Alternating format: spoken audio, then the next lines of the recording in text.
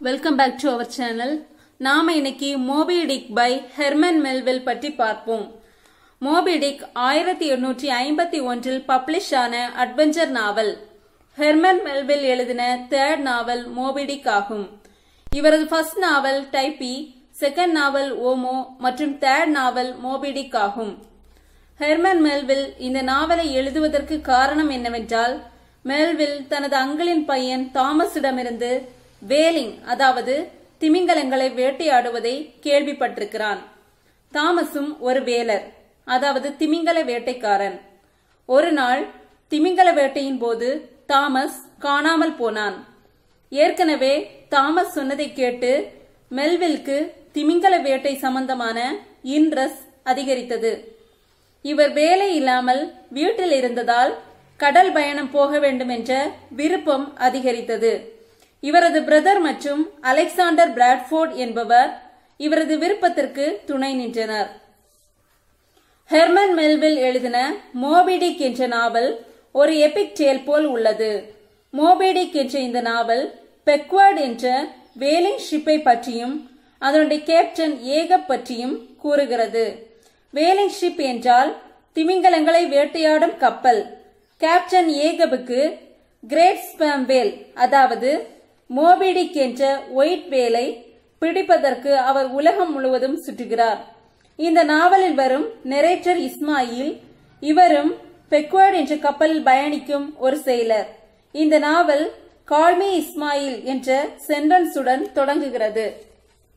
இஸ்மாயிலுக்கு நான்டக்கட் என்ற பிளேஸுக்கு போக வேண்டும். இப்போது அவர் நியூ பெட்ஃபோர்டுக்கு வந்தார். நியூ பெட்ஃபோர்ட் நான்டக்கட் என்ற பிளேஸுக்கு போகும் வழியில்தான் உள்ளது. இவர் நியூ பெட்ஃபோர்டில் உள்ள ஸ்பௌட்டரின் ஸ்பௌட்டரினில் தங்குகிறார். இவருக்கு அலாட் பண்ண பெட்டில் கியூகக் என்ற கார்போனரும் படுத்திருந்தார். கியூகக் பார்ப்பதற்கு டேஞ்சர் மாதிரி தெரிந்தாலும் இஸ்மாயில் அந்த பெட்டை அவருடன் ஷேர் பண்ணினார். குயிக்கக் என்பவர் பார்ப்பதற்கு அன்சிவிலைஸ்ட் பர்சன் மாதிரி இருந்தார். இவர் நியூசிலாந்தில் இருந்து பெக்வாடில் செயல் பண்ண வந்தவர். இவரது அப்பா ஒரு சீஃப் கட் இவருக்கு கிறிஸ்டியானிட்டி பற்றி தெரியாது. ஆனால் கிறிஸ்டியானிட்டி பற்றி அறிய ஆர்வம் அதிகம். இஸ்மாயில் மற்றும் குயிக்கக் இரண்டு பேரும் நண்பர்களாயினர். அடுத்த நாள் இரண்டு பேரும் சர்ச் ஆராதனையில் பங்கேற்று ஃபாதர் மாப்பிளின் பிரசங்கத்தை கேட்டனர். ஃபாதர் மேப்பிள் கூறிய செர்மன் எதை பற்றியதெனில் யோனா மீனின் வயிற்றிலிருந்த கதையை பற்றியது. அந்த செர்மனில் ஃபாதர் கொடுத்த லெசன் என்னவென்றால் truth in the face of falsehood Nantucket என்ற பிளேஸுக்கு தான் இஸ்மாயில் மற்றும் கியூகெக்கு செல்ல வேண்டும். அதனால ஸ்கூனர் அதாவது இரட்டை பாய்மர கப்பலில் ஏறி நான்டக்கட்டுக்கு வருகின்றனர். குயிக்கக் அந்த கப்பலில் ஒரு லோக்கல் பம்கின் அதாவது பண்பறியாத ஒரு மனிதனை தாண்டி செல்லும் போது அவன் குயிக்கக்கை கேலி செய்தான். ஆனால் அந்த பம்கின் கப்பலில் இருந்து விழப்போகும் போது குயிக்கக் அவனை காப்பாற்றினார். இப்போது இஸ்மாயில் மற்றும் குயிக்கக் இரண்டு பேரும் நான்டக்கட்டுக்கு வந்து அங்கு நின்ற மூன்று கப்பல்களில் பெக்கோர்ட் என்ற கப்பலை தங்களின் ஒரு வருட பயணத்திற்காக தெரிந்தெடுத்தனர். பெக்வார்டு கப்பலில் கேப்டனாக இருந்த பீலக் ரிட்டையர்ட் ஆனார். இப்போது பீலக் மற்றும் பில்டட் இரண்டு பேரும் பெக்வர்ட் ஷிப்பின் ஓனர்ஸ் அந்த கப்பலில் உள்ளவர்களிடம் பீலக் புதிய கேப்டனான ஏஹபை அறிமுகம் செய்கிறார். மேலும் ஏஹபுக்கு கடவுள் நம்பிக்கை இல்லை என கூறினார். கப்பலில் பயணம் செய்யும் முன் இஸ்மாயில் மற்றும் குய்கக் இரண்டு பேரும் எலிஜா என்பவரை கடந்து சென்றனர். அப்போது எலிஜா அவர்களிடம் கப்பல் பயணத்தில் அவர்களுக்கு வரக்கூடிய பேரழிவு பற்றி கணித்து கூறினார். மேலும் அவர் பெக்வர்டு என்ற கப்பல் கடந்து போகும் முன் மீண்டும் மீண்டும் வரக்கூடிய பேரழிவு பற்றி கூறினார். இஸ்மாயில் மற்றும் குயிக்கக் இரண்டு பேரும் கப்பலில் ஏறினர். கேப்டன் ஏகபை எங்கேயும் காணவில்லை. அவர் தனது கேபினில் தனியாக இருந்தார்.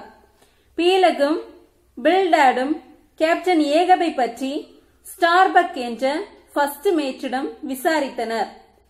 ஸ்டார்பக் என்பவர் வேல் சம்பந்தமான பிசினஸ் செய்ய பெக்வர்டு என்ற கப்பலுக்கு வந்தவர்.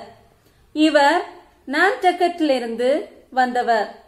இவர் எதையும் பிராக்டிக்கலாக தான் யோசிப்பார். ஸ்டப் என்பவர் பெக்வர்ட் கப்பலின் செகண்ட் மேட் இவர் கேப் கோடிலிருந்து வந்தவர். இவர் எதையும் ஜோக்காகவும் ஈஸியாகவும் எடுக்கக்கூடியவர். பிளாஸ்க் என்பவர் தேர்ட் மேட் இவர் மார்டாஸ் வினியார்டிலிருந்து வந்தவர். இவருக்கு சண்டை பிடிக்கும் குணம் உண்டு. அந்த கப்பலில் வேலை செய்யக்கூடிய மேலும் டூ பர்சன்ஸ் யாரென்றால் ஒன்று டேஸ்டகு இவர் ஒரு இந்தியன் கார்போனர் மற்றும் டேகு இவர் ஒரு ஆப்பிரிக்கன் கார்போனர் கார்போனர் என்றால் வேலை வேட்டையாடுபவர். வயஸ் தொடங்கி நிறைய நாள் கழித்த பின் ஏகப் எல்லார் முன்பாகவும் வருகிறார். அவரை பார்க்க வெண்கலத்தால் செய்யப்பட்ட மனிதர் போல இருக்கிறார். அவரது கால் வேல் போனால் செய்யப்பட்டிருந்தது. ஏகப் செகண்ட் மேட்சான ஸ்டப்புடன் கடுமையான வாக்குவாதத்தில் ஈடுபடுகிறார். ஸ்டப். ஏகபின் காலில் பொருத்தப்பட்டிருக்கும் விலையுந்த பொருளை பார்த்து சிரித்துவிட்டு அவரை உதைத்தான். மேலும் ஸ்டப் தனது மனதில் ஏகபின் வேல் போனால் செய்த அந்த காலை உதைத்து தள்ளிவிடுவது போல் நினைத்து சிரித்தான். உடனே தேர்ட் மேன் மேட் பிளாஸ்க் சொல்றான். இப்போ ஏகப் உன்னை உதைத்தால் அது மரியாதை நிமித்தமாக செய்வதுதான். தவிர கேலியாக செய்வதில்லை என கூறினான். ஏகம் தனது கப்பலில் உள்ள வேலையாட்களிடம் மோபிடிக் என்ற இமைகளில் சுருக்கமுள்ள அந்த ஒயிட் பேல் எங்காவது தெரிகிறதா என பார்க்கும்படி கூறினார். ஏனென்றால் அந்த வேல்தான் அவருடைய லெக்கை கடித்து விழுங்கியது. ஏகப் வேறு எந்த வேலையும் வேட்டையாட டைம் கொடுக்கல. இது ஸ்டார்பக்குக்கு பிடிக்கல. அதனால ஸ்டார்பக்ஸ் சொல்றான் அது ஏகபின் மேட்னஸ் இதுக்கு ஏகப் சொல்றாரு எல்லா செயல்களுக்கு பின்னாலேயும் ஒரு ரீசன் மறைந்திருக்கும். அதுதான் மாஸ்க் ஆனால் அது பாதிக்கப்பட்டவர்களால் உணர முடியும். மற்றவர்களால் உணர முடியாது என்று கூறினார். ஏகபின் மாஸ்க் என்னவெனில் மோபிடிக். ஏகபுக்கும் மோபிடிக்கை பிடிக்க வேண்டும் என்று தன்னிடமிருந்த வெறி தெரியும். ஆனாலும் அதை பிடிக்க முன்னோக்கி செல்கிறார். இப்போ ஸ்டார்பக் நினைக்கிறாரு எல்லோரும் இந்த மேட் கேப்டன்ட்ட மாட்டிட்டோம். ஆனால் ஒன்று மட்டும் தெளிவாக தெரிகிறது. அது என்னவெனில் ஏகபின் கடுமையான முடிவு. இஸ்மாயில் மற்றும் குயிக்கக் இரண்டு பேரும் பெக்வார்ட் கப்பலின் அருகே ஒரு வேலை பார்த்தனர். அதை கேப்டனிடம் கூறினர். கேப்டன் ஏகப் தனது ஸ்பெஷல் க்ரூ ஆன ஃபெடல்லாவிடம் ஒரு போட்டை எடுத்து வேலை பிடிக்க கூறினார். ஃபெடல்லா அந்த வேலை அட்டாக் பண்ணாரு. குயிக்கக் அந்த வேலை குத்துனாரு. ஆனாலும் வேலை கொல்ல முடியல. ஃபெடலா என்பவர் பார்சி இனத்தை சார்ந்தவர். ஃபெடலாவை இஸ்மாயில் பேண்டோம்ஸ் என அழைத்தார். ஏனெனில் ஃபெடல்லாவை அதுவரை கப்பலில் யாரும் பார்க்கவில்லை. ஆனால் திடீரென வேலை பிடிப்பதற்கு ஏகப் ஆர்டர் போட்டவுடன் வெளியே வந்தார். அதனால் பேண்ட்ரோம் என அழைத்தார். கேப் ஆஃப் குட் ஹோப் என்ற பிளேஸை பெக்வர்ட் தாண்டிய போது அவர்கள் கனி ஆல்பட்ராஸ் என்ற சிப்பும் வந்தது. பொதுவாக கப்பல்கள் அருகருகே வந்தால் சிறிது நேரம் கப்பல் உள்ள எல்லோரையும் மீட் பண்ணுவாங்க. அதை கேம் என சொல்லுவார்கள். ஆனால் கனி ஆல்பட்ராஸ் என்ற ஷிப் அந்த கேமுக்கு இடம் கொடுக்காமல் வேகமாக சென்றது. அந்த ஷிப் தாண்டி செல்லும் போது கேப்டன் ஏகப் அந்த ஷிப்பில் உள்ள எல்லாரிடமும் மோபிடிக்கை யாராவது பார்த்தார்களா என கேட்டார். ஆனால் அந்த கப்பல் வேகமாக சென்றதால் ஏகபால் அவர்கள் கூறிய பதிலை கேட்க முடியவில்லை. அடுத்து டவுன்கோ என்ற கப்பலும் பெக்வார்டு என்ற கப்பலும் மீட் பண்ணின. அதன் பின் இஸ்மாயில் டவுன்ஹோ கப்பல் கப்பலில் உள்ள குரூவிடம் கேட்டு அறிந்ததை எல்லோரிடமும் கூறினார். அதாவது டவுன்கோ கப்பல் உள்ளவர்களும் மோபிடிக்கை அடிக்கடி அட்டாக் பண்ண பார்த்ததாக குறிப்பிட்டார். தென் ஸ்டப் ஒரு வேலை தனது கார்பூனால் குத்தி உள்ளே எடுத்தார்.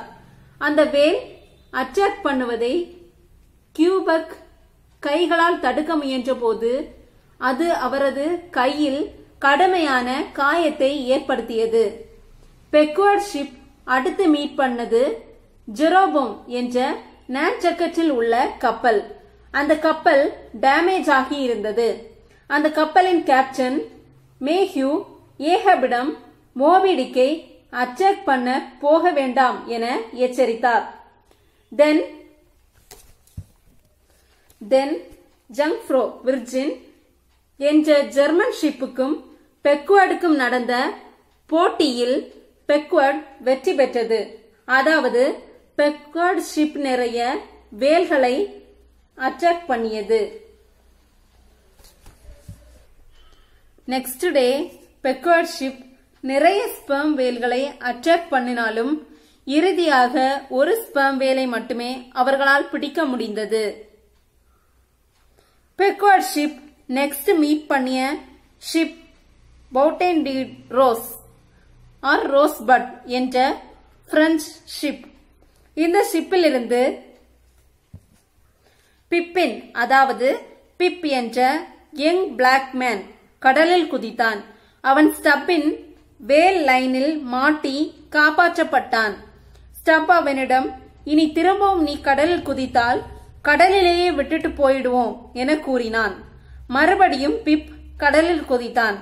அப்போது அவனை வேறொரு போட்டில் சென்று காப்பாற்றி பெக்கோட் ஷிப்புக்கு கொண்டு வந்தனர்.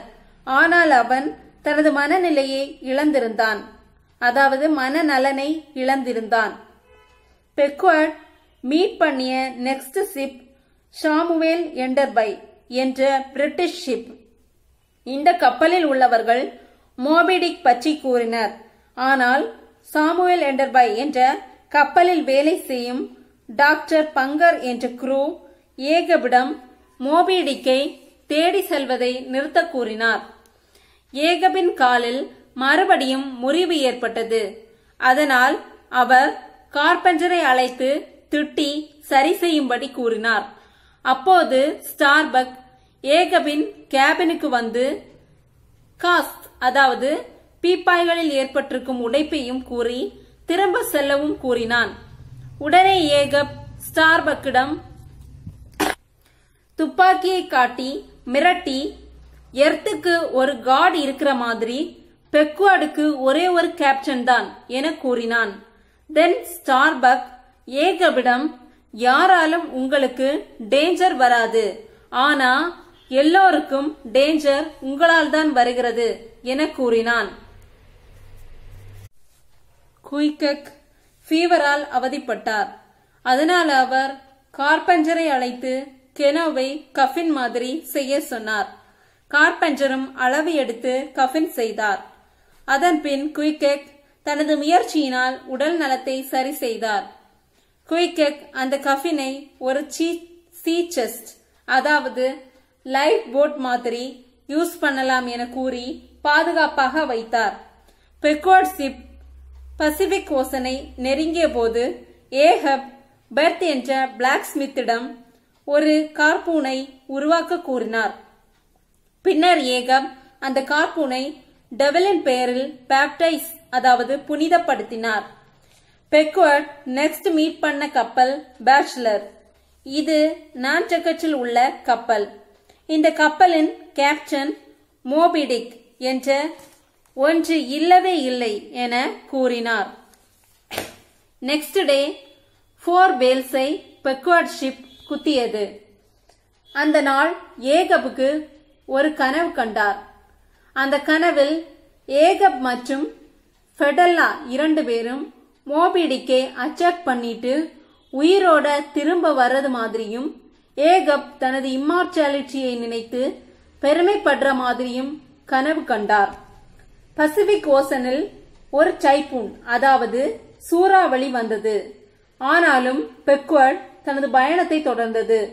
அப்போ ஸ்டார்பக்குக்கு ஏகப் மீது அவரை கொலை செய்யும் அளவிற்கு கோபம் வந்தது. ஆனா அவரால ஏகபை கொல்ல முடியல. ஏனென்றால் ஸ்டார்பக் ஏகபின் மஸ்கட் அதாவது துப்பாக்கியை எடுத்து ஏகபை ஷூட் பண்ண ஏகபின் அறைக்கு சென்றார். அப்போது ஏகப் ஆழ்ந்த உறக்கத்திலிருந்து நான் மோபிடிக்கை பிடித்து விட்டேன் என கூறினார். இதை பார்த்ததால் ஸ்டார்பக்குக்கு ஏகபை கொல்ல முடியவில்லை.